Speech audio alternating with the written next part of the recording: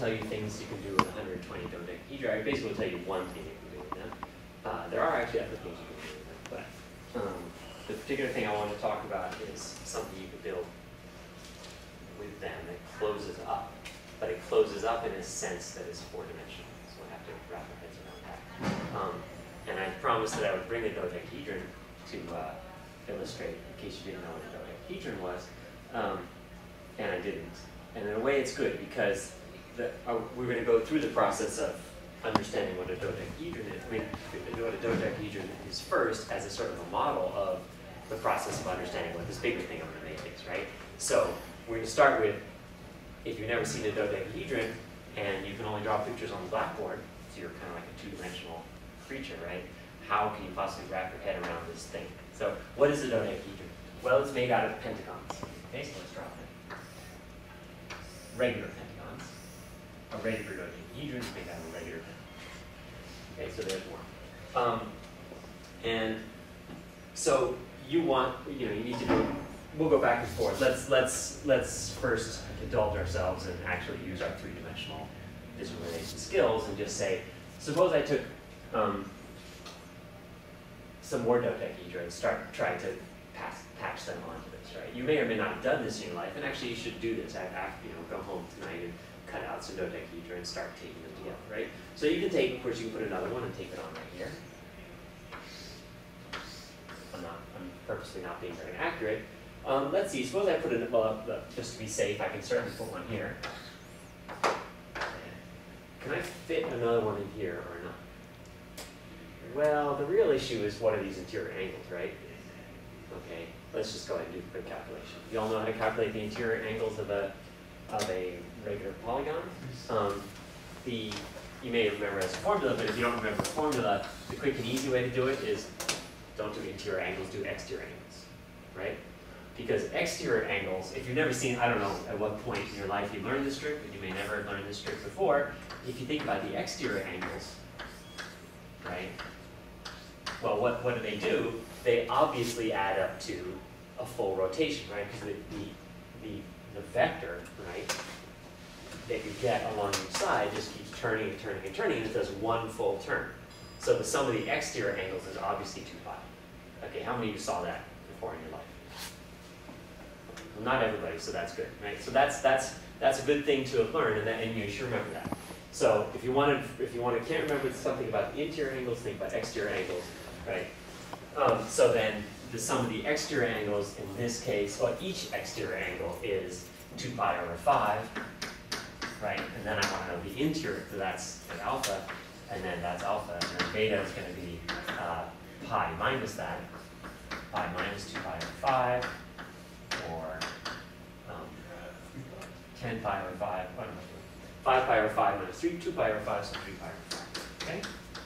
Um, so that's what this is, 3 pi over 5, 3 pi over 5. So is there room for another one? Well, yes, because I, if I squeeze another one, it just barely squeezes in, right? Then if I put another 3 pi over 5, that's 9 pi over 5, which is less than 2 pi. Okay? So yes, it looks like there's room there, and it doesn't I drew it or anything like that. And so you can squeeze your, you can fit five uh, pentagons around the outside.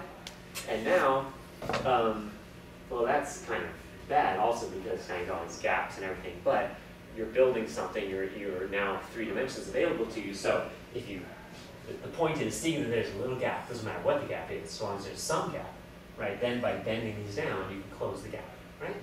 Any questions there? So you can close the gap by, by taking these outer flaps and bending them down, right? And then um, you will have produced something involving six pentagons. Okay? Now I'll draw you the picture of the full, um, well, let, let, me draw sort of a perspective drawing of what you get at that point. Oh, please stop me if, if you're lost. Kind of, kind of the way I lecture, I kind of tend to count on. It's actually worth asking, which flaps are you talking about? I'm, I'm talking about these outer, I'm talking about the pentagonal outer, I'm thinking of those as flaps. I'm, i want to bend oh. the five, I'm keeping the middle one, thank you for asking, keep the middle one where it is, and then I've glued five pentagons around its edge, or taped five pentagons around its edge. and now that's flat on the table. I lift this up and bend the outer five pentagons down. So the lines where you're bending it are around the perimeter. Yes, these are the lines I'm bending on. I bend, bend, bend, bend. Okay, so when I Cardboard- bend, cardboard this edge dimension. will, I'm, I'm, I'm, yeah, I'm bending just along the seam, right? And when I, so in other words, each, each pentagon remains flat and rigid by itself, okay? And then these two edges come together, right? And then I can put a piece of tape there, but now it's no longer gonna lay flat, right? Okay, so that's, um, so we can draw, we draw sort of a picture of that again.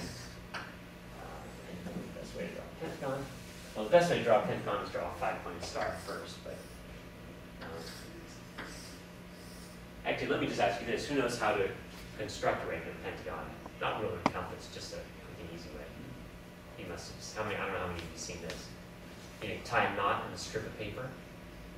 Okay, if you take a long strip of paper and you tie the simplest knot in it, Crease it down. uh, this knot, moving it down. that knot, okay, but it's with a strip of paper. And then you start, you, this also you should go home and do, right? And then you start sort of creasing it down, and, uh, you know, eventually what you'll discover is that someone's gonna do it and pass it around, and you'll find a regular pentagon perfectly aligned. Uh, I, I can't, I won't, I will not attempt to draw it on the board, but he's do it. Um, so that's, that's if you ever need a regular pentagon. Um, I mean, there is a ruler and compass construction that's horrendous. Um, So, okay, so I'm gonna draw it now as if I'm looking straight at it, and I've now bent these outer flaps down, so they sort of, uh, they now are- are shortened, right, because I'm looking at them in perspective. And so, and those side pentagons are foreshortened also, because I'm looking at them in perspective. Okay, that's the picture of the front of the dodecahedron, okay? Can you buy that perspective drawing? Okay, so these are regular pentagons, but they're tilted at an angle away from me. Okay. And now, um, what I'm gonna say is, you do exactly the same thing on the other side. You do the same thing again. Make another copy of exactly the same thing, glue it front and back, and well, so suppose you take another one and put it on behind. If you just try and smash it together, it's not actually gonna work. Uh, let me ask you this, to see if you're with me on the intuition here. Is, uh, the perimeter of that shape I just drew, does it lie in a flat plane or not? It does not. So these points are further back than these points, right? Okay. Right, because this distance is longer than this distance, those points are further back. So if I were to look at it from the side, I've got one, two, three, four, five, six, seven, eight, nine, ten points, but they, they go up, down, up, down, like a zigzag around. Okay, got that? Yes? All right, so if I tried to do exactly the same thing, glue it out behind, and glue it here, I'd sort of have a problem. But the, the trick is then to take the thing on the back and rotate it a little bit and it clicks into place. Okay, so I'm gonna draw the back of it now, and hopefully that'll help you understand what I just said. Um, so the back of it, I'm gonna draw as if, I- as if I could see through this thing, but I, you know, the edges are what I'm drawing, right? So in behind there will be some gonna sort of exaggerate the perspective a little bit, so that the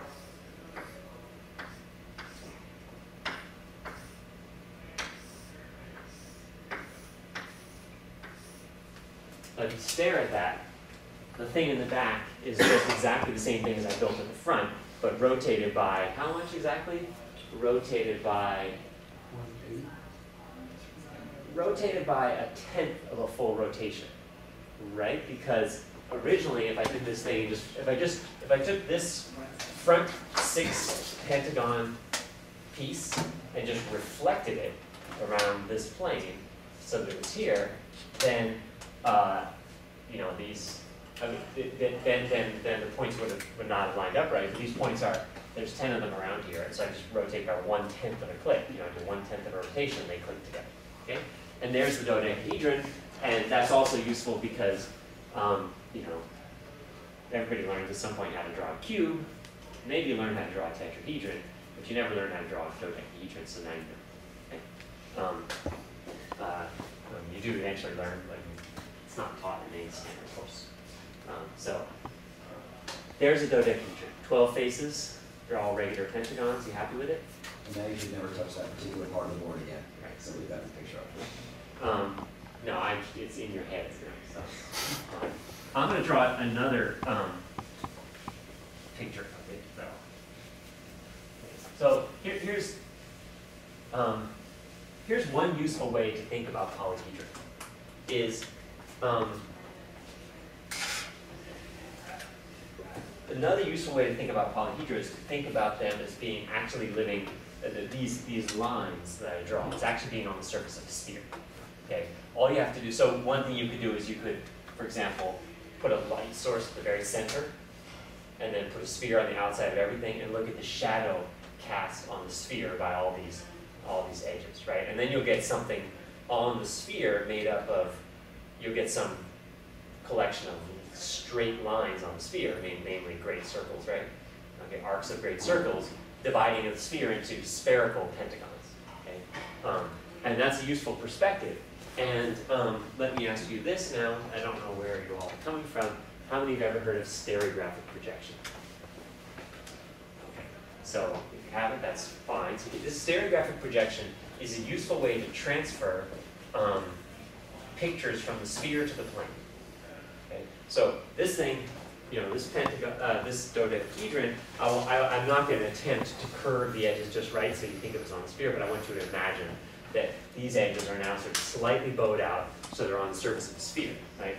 And then I would like to transfer that to to a completely flat picture, right? This is sort of a bad picture because there's stuff in front of other stuff, right? And that's why that's problematic. So another picture, but, but that on the other hand corresponds to how we actually see, so that's useful. So another picture is using what's called stereographic projection. And stereographic projection is a projection from the sphere to the plane. So I'm gonna draw the, you think of the unit sphere inside R3 and you know, X, Y, Z space, and then think of the X, Y plane in there. And what I do is I take, to figure out where the, you know, this, I'm making a map, right? This is actually a pretty bad map in general, um, for actually making maps, but it does have one really awesome feature. Um, so I take a point on the, on the sphere, and I wanna know where should its image be on the map, right? You know, this is, uh, you know, Athens, Georgia, where is it on, on the plane, okay? So I, I go to the North Pole, and I collect a straight line from the North Pole to Athens, and then I continue until I hit the equatorial plane, the XY plane, right? And then that's the image of. So this is a function, this is the point P, this is F of P. This is a function from the sphere to the plane, well, except not really, because there's one point that never gets to the plane, which is the North Pole itself, okay? So it's a function from the sphere minus the North Pole to the plane. Question? Isn't that sort of what maps do? What we already do, we use globes to make maps, and hence why like Greenland is so huge on a map when it really is. Yeah, so the typical map makes the North Pole into a straight line at the top of the page, right? This is far worse. This sends the North Pole off to infinity. The North Pole, North Pole becomes a circle off into infinity, right? And, you know, Greenland is, has infinite, no, the, the, the, the, the uh, Arctic ice cap has infinite area, okay, in this map, right? The, uh, this map is awesome for Antarctica, right? Um, and, uh, however, one thing, and I don't, you know, there's a whole other topic in here that you should learn if you haven't learned. The amazing thing about stereo, this is called stereographic projection. I actually don't know the origin of that terminology. Suggests that it has something to do with, um, you know, two things, right? Stereographic or stereographic vision or something. I, I have no idea why, where that, why it's called stereographic vision, but it is. Um, it's very important in complex analysis, and one of the reasons it's so important in complex analysis is that it, it preserves angles. Okay? And if it preserves, so this preserves angles, so if I have two little things there and the angle between them, they may, you know, if I have a little triangle or something, so the angle between them will, you know, those edges may be terribly distorted, but the angles will be the same. And the other thing is, it sends circles to circles. And that's actually a consequence of preserving angles, because you can think of a circle as being something where you're turning at a constant angle, right? And so if you're turning at a constant angle, and you have a map that preserves angles, then you'll continue to turn at a constant angle. So it sends circles to circles. Um, So what I would like to do is try to draw a stereographic projection picture of the dodecahedron, and then very quickly move on to higher dimensions, okay?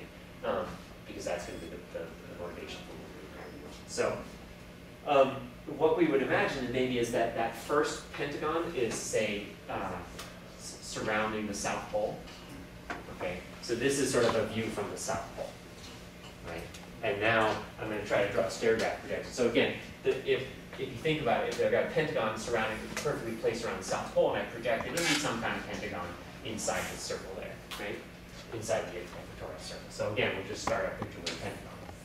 Um, but I'm going to space a little bit smaller. Okay, so now what about the, well, actually, but not straight lines, right? Um, not straight lines. Oh, oh, here's another, let's, let's do this slightly bowed out, right? Ever so slightly. But they're not, they don't, they definitely meet at some angle, right? They're not, it's not just a circle, right? So these are arcs of circles.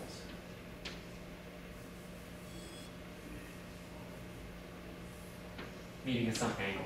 Now, let's see if we can figure out what that angle is. It's bigger than the interior angle of a Euclidean, uh, than the interior angle of a Euclidean pentagon, right? Because it's bowed out. Actually, you can figure out exactly what it, what, what it should be because how many pentagons meet at one of these corners? Three, right?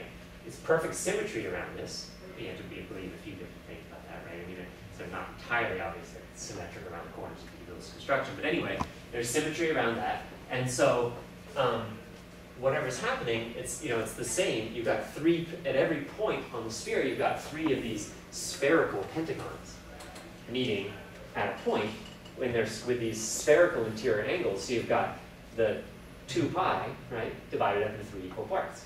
So this has actually got to be two pi over three interior angle. Okay, so you could actually construct this, right? You could actually figure out where to put. You've got two points here. You want to draw this with a compass you should be able to figure out where the center of this arc of the circle is so that it, you know, so that the angle it makes, well, if you like, so this angle is pi over three, and then this angle will be pi over three. So that's a fun exercise to do. But, you know, you don't, you definitely don't want to put the centers right here because then you're drawing a circle. So this, this arc is going to have a center out here somewhere, and then this arc has a center out here somewhere. It's a fun exercise to figure out where those centers should be. So this is two pi over three. Okay. What about the next edges going out? Actually, it turns out the next edges are going to be arcs of circles, which are great circles passing through the North Pole. Just by, again, by symmetry, they should be going up. And so that corresponds to going out. And when I said circles go to circles, but there's a special case which is circles to the North Pole, do you think they go to? Straight lines, okay, because they go off to infinity. They're like circles to infinity. So those will be straight lines still. And this will be 2 pi over 3 and 2 pi over 3. So again, we're really just doing the same thing, now I need to, um, I need another two pi over three angle, because this not, this thing, I'm not gonna try to, you know, I'm not gonna do this perfectly accurately, right? But I don't know exactly what the right length is here, it's a fun exercise again to try and do it. We want some arc of circle here, so that's two pi over three. And that's two pi over three. Okay. And, um, now I'm going to stop trying to be realistic about my angles, right? But the point is you're going to get something that looks sort of like that. I'm going to have one, two, three. I need something like this and something like this, right, for my next. So this is supposed to be a pentagon. One, two, three, four, five. This angle, should, again, should be 2 pi over 3. I'm to have this, this, this. That angle should be 2 pi over 3. This, this, this, this, this, this this, okay?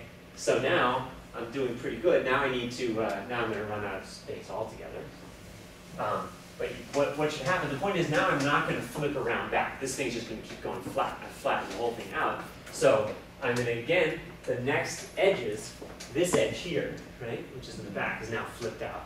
But again, it's, a, it's sort of an arc of a circle that goes to the North Pole. So it's, again, a straight line going out, straight line going out, straight line out, straight line out straight line out. And I actually really wish that I could finish this off nicely and started the whole thing and made it smaller because how many? One, two, three, four. So I only need to draw one more edge to make this close this pentagon off, right? This I'm trying to draw this pentagon here. And I've drawn four of its edges already. So I just need one more edge, which is something like that.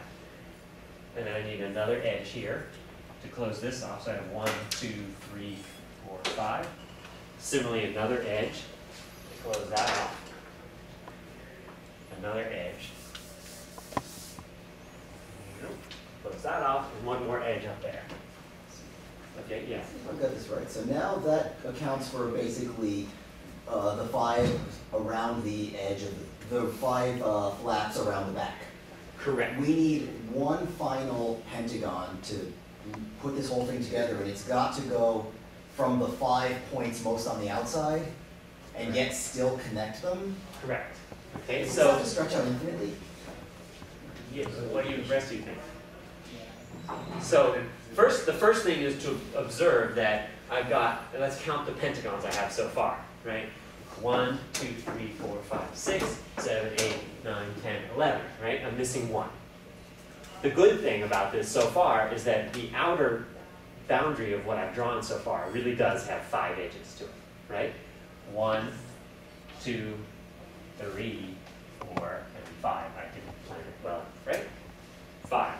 And remember, these are the images of arcs of great circles projected by the stereographic projection down. They are arcs of circles in the plane, but they're centered somewhere, and it's fun to try and figure out where they are. So this really does, these, these are quote unquote straight lines on the sphere turned into. Okay. The complement of this picture, everything else in the plane off to infinity, well, remember I said this, that we're looking at this view from the South Pole. So the South Pole is here in the front plane, the North Pole is there back right? Remember stereographic projection, which I erased, where does the North Pole go? Off to infinity.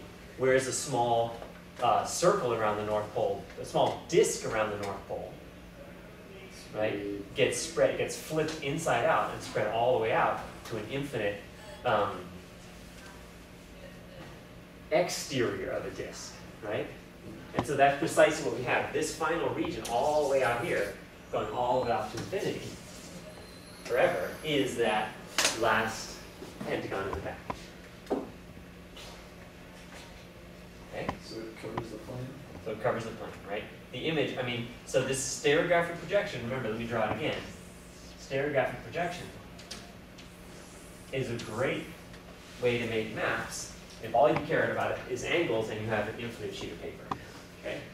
Um, because, um, uh, and all you, and you love circles, right? Circles are really dear to your heart, right? You don't care about, you know, squiggly lines or anything else, but circles, well, you wanna be able to recognize circles, you wanna be able to measure angles, and you've got infinite amount of paper. Because this, this, as you get, I just reiterate again, you, if you look at the, remember, what you do is you take a point, connect it to the North Pole, extend that line, see where it hits the plane.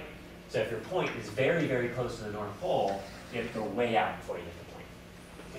Weren't weren't maps? Um, didn't like sailors in the days of yore use maps that that were kind of like that because that's I think you mean like Mercator projections, preserve direction. Mhm. so they're really useful. oh okay. Yeah, so. Okay, so, um, all right, so now, now we're gonna jump to, jump to warps, okay? Um, and, uh, we're gonna do the same thing with that, um, third thing.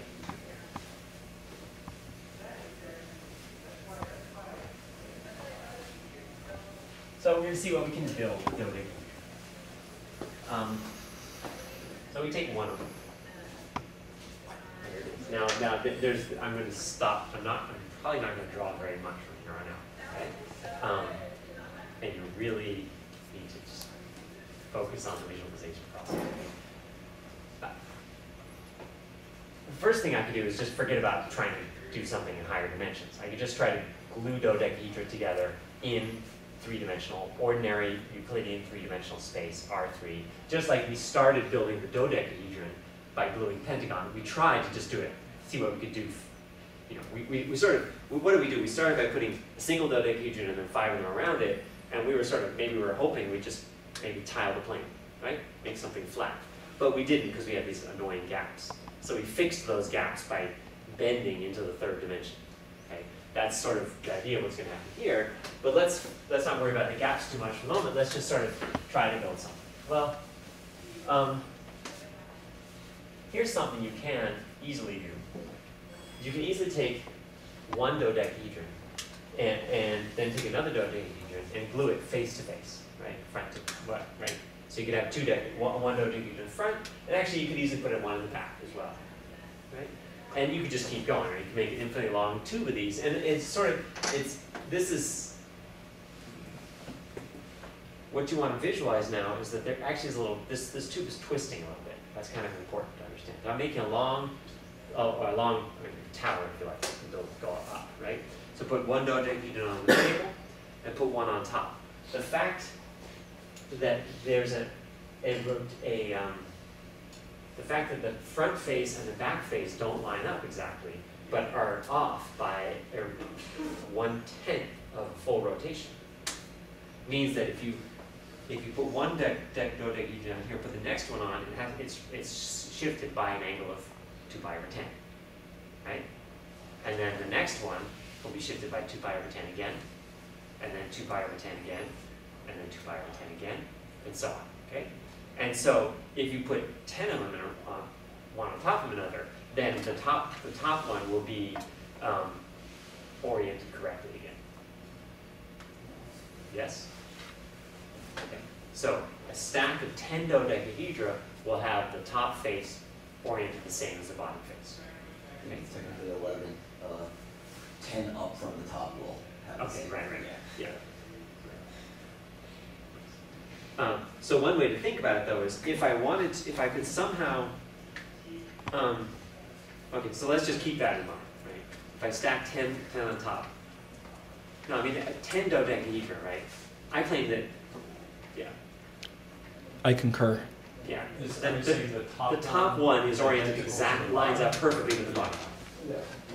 Okay. So, Yeah. so ten total. ten million, not eleven. Um, and, uh, because yeah, when you go up one, you rotate by two pi over ten, so when you go up ten, you rotate by two pi, okay? Um, and, uh, now the other thing to just try to imagine is, is, let's say you have, you've already put one on the front, and now let's put one on the side, right? Okay, so I could, I could sort of try to put one out, on, uh, say attached to this side, maybe I could almost draw that. Uh, I've done this in the past, but I won't do it. So, stick one on the side here. Um, now, another take-home exercise that's fun to do is to try and calculate the dihedral angle between two faces of a dodecahedron. What is that? Um, I don't remember. Okay, okay. I remember the, I remember the essential fact. It's just an angle between two. Oh, oh, oh, you mean, what is the definition of dihedral? I'm Yeah. sorry, yeah, I'm sorry, that's, I, you know, I should have, there's a, there's a great prop for this, which I don't have, which is, you know, one of those blackboard compasses, right? So if you have planes, Is this the right? Well, that isn't actually the prop I wanted, prop I wanted, but the, the first prop I wanted, that, that's, that's an essential, let me get that first, so. This is, you know, here's two planes, here's an angle between them, okay? Okay, how do you measure the angle, right? Well, um, you would like to get a number. What we do know is how to measure angles between lines, right? Well, so here's the problem, I mean, I'd like, so I'll use my elbow as a prop, right? What's the angle between these two walls, what do you think it should be? ninety degrees, right? Well, I claim no, it's like thirty degrees, right? Because I can just put my arm, elbow into thirty degree angle and then spin it in there perfectly, right? Okay, or I can make it twenty degrees, right? Or I can make it sixty degrees, or I can make it ninety degrees, right? Actually, could I make it any larger than ninety degrees? Uh, if you keep going, it's gonna get smaller again, right?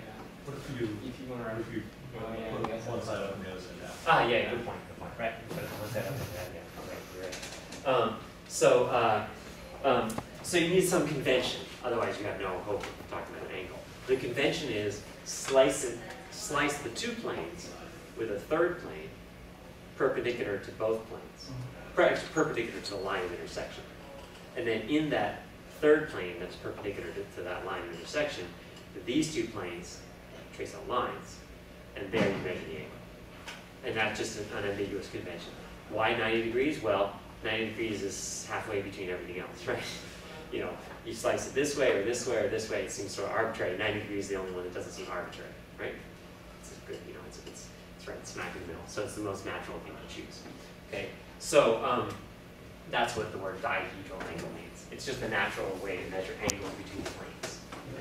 And so if we're going to see, here's the point. If we're going to put a dodecahedron here and another one here, then the question is along this edge, what happens? I've got one here and some angle between them. And then I've got another one here and some angle between them, and one here and some angle between them. Is there a gap? Do they fit perfectly? Do they, is there not even room for the third? Maybe, maybe once I put the first, this first one on, there's no room for the third. Just as we were worried about that with the, pentagon, right? With the pentagon, we put one here, and then we put one here, and, you know, by calculating, I mean, it doesn't look very convincing the way I'm doing it, but by calculating angles, we discovered there was, there was just barely room for two of them, and unfortunately, they didn't tile the plane if that's what they wanted to, do, right? Um, so, how, how do you, you know, there's lots of different interesting ways to try and figure out how you would go about, um, finding that dihedral angle. Um, I won't do the calculation with you, that's what I said, I don't remember, right, it is. Um, the, uh, I think the nicest way to do it is to think about, um,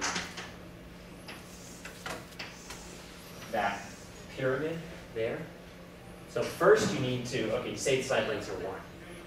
Then you need to know inside a regular pentagon of side length one, what's the length of this, this sort of diagonal of the pentagon. And once you figure that out, then you can, you can ignore everything else, the rest of the pentagon, and say, suppose I have a pyramid, right, whose side length, you know, call this side length x, whatever it is, whose side lengths are x on the base, and side lengths going up are one, right? And then you have to figure out, you have to find, sort of somehow figure out how to use that to slice, find a plane perpendicular to this. I don't know, that may not be the best way. You want to find some way, often we're do, for dihedral angle calculations, a lot of times what you want to do is slice some little piece off of the, off of the polyhedron. Go. Okay.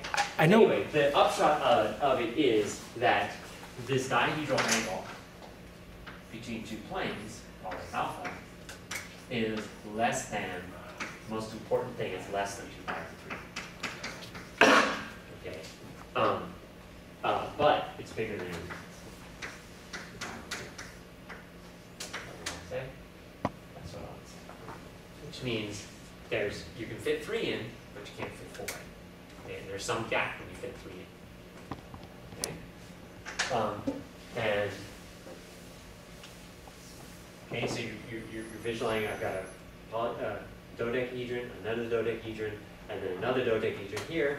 If you like, sort of looking, you know, sliced edge on, I've got a slice of a dodecahedron here, slice of a dodecahedron there, slice one there, and a little gap between them.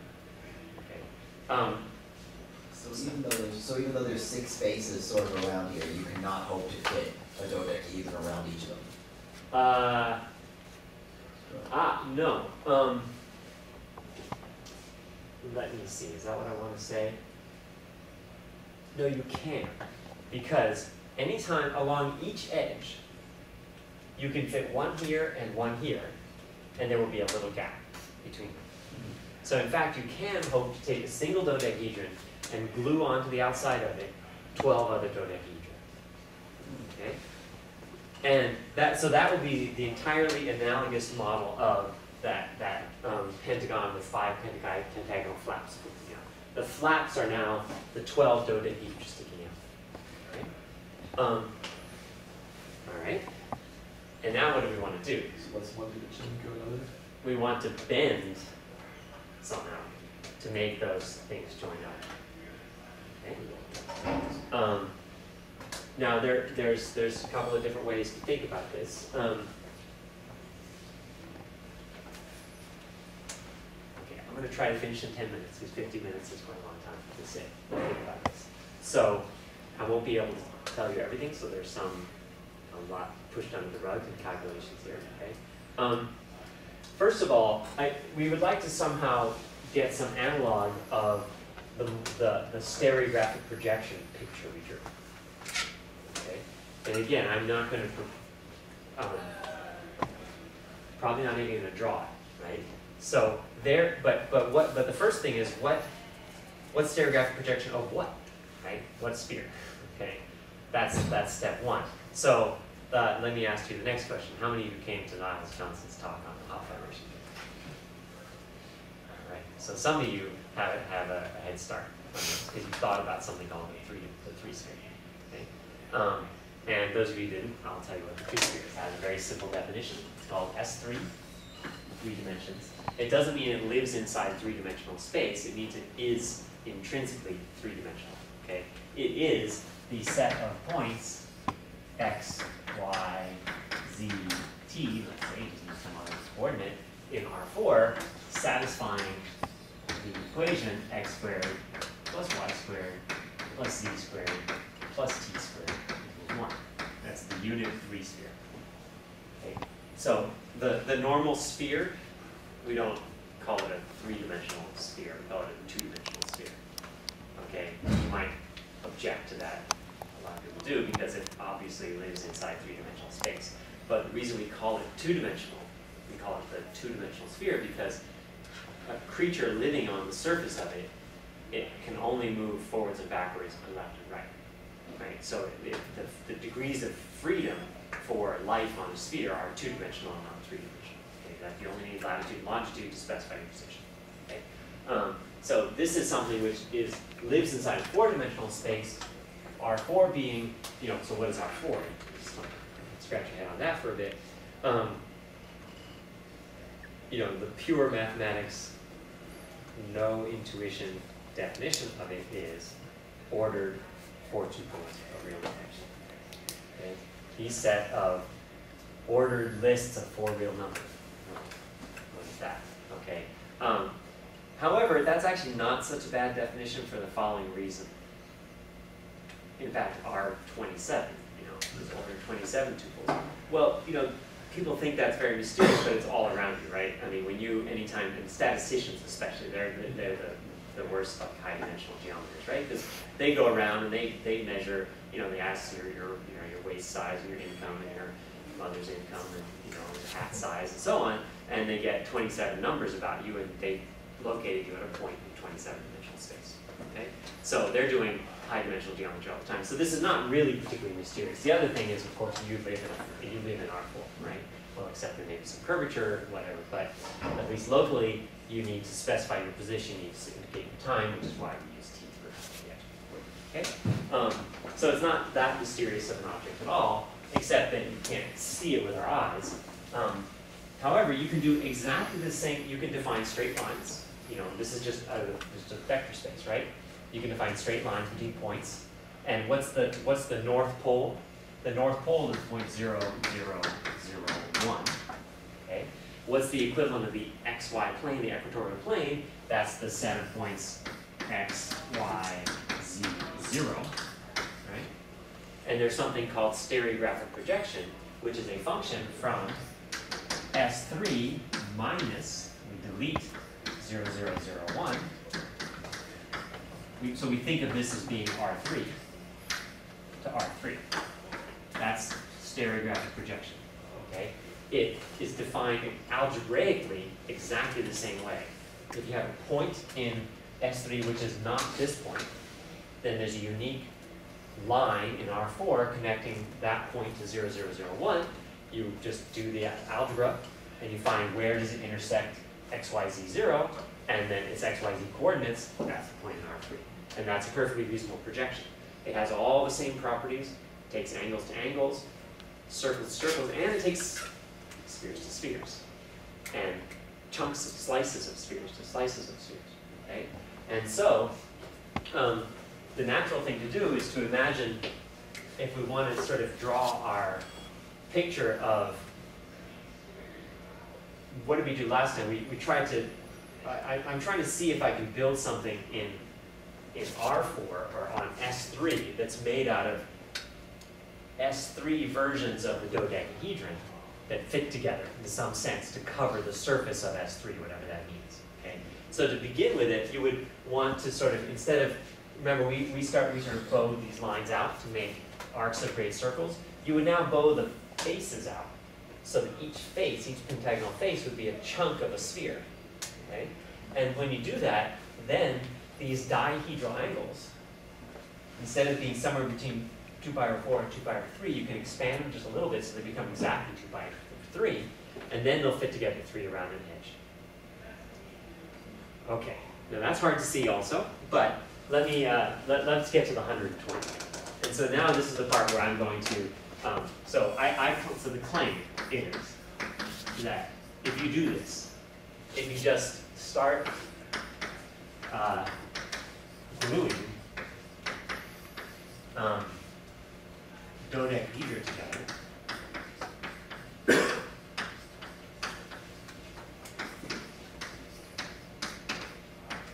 in R four, and I'm gonna say three around an edge.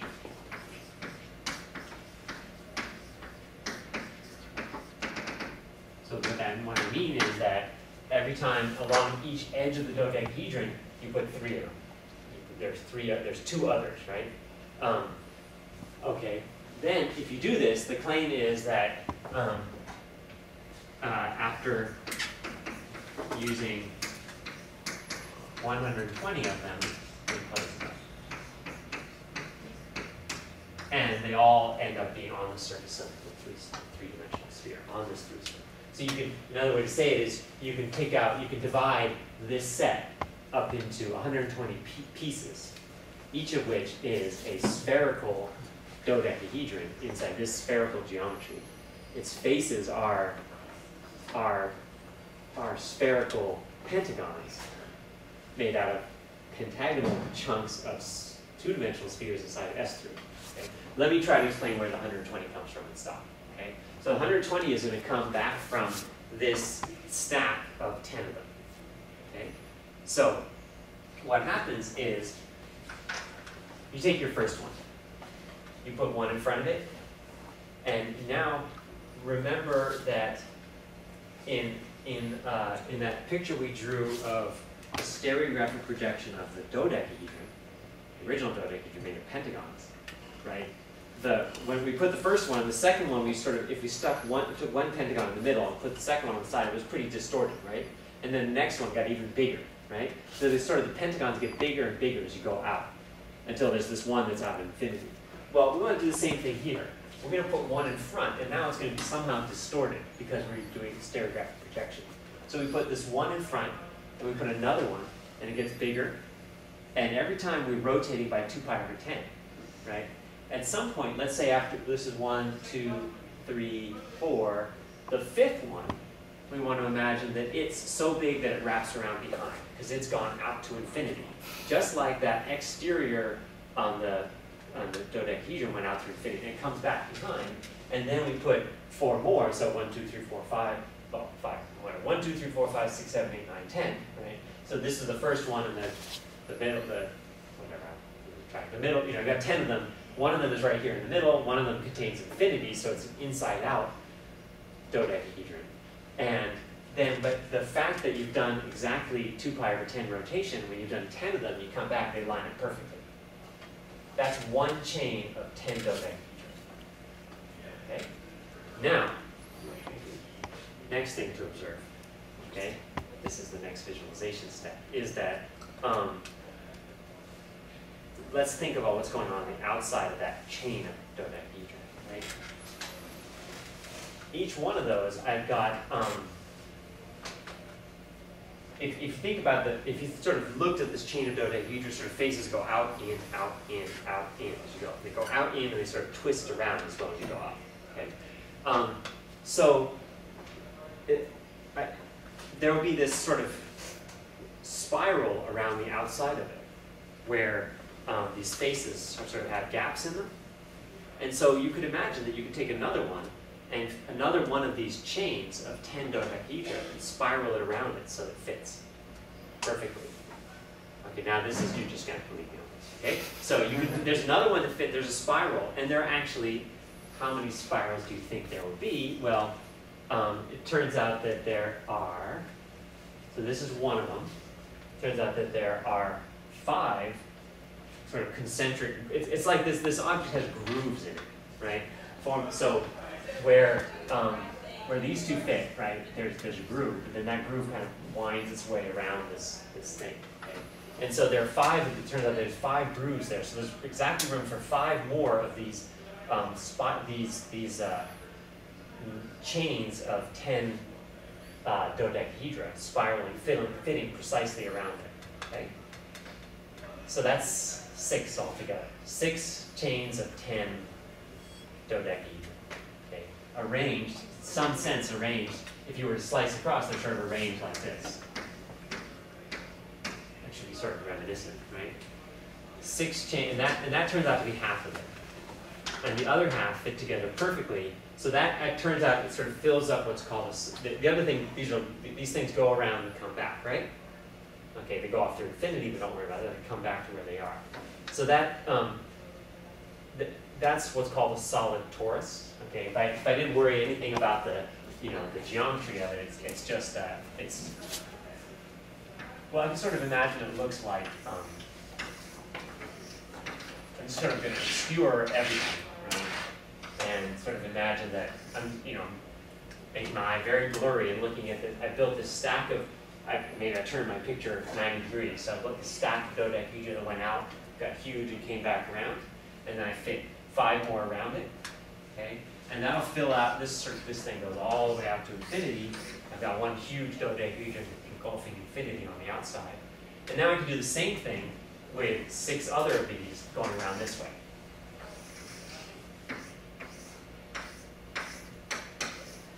And then they fit, they lock together perfectly. The six on the outside and the six on the inside lock together just like this. And you get 12 necklaces of 10 dodecahedra each, locking together perfectly into this configuration of 120 dodecahedra.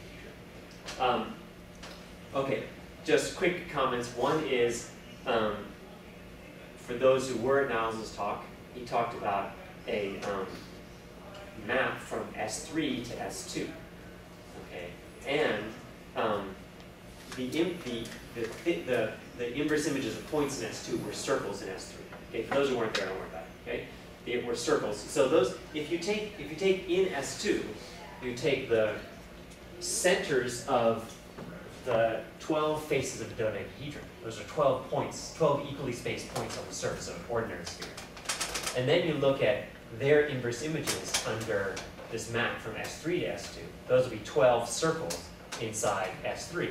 And those are exactly the cores of these 12, um, these, these 12 chains of 10 dodecahedrons. Um, and uh, that's all. Lots of points there.